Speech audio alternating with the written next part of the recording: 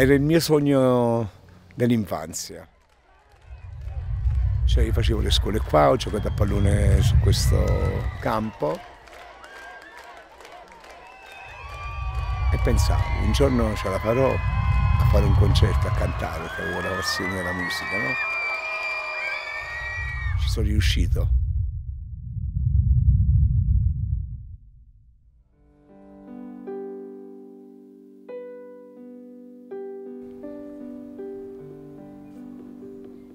...13 agosto...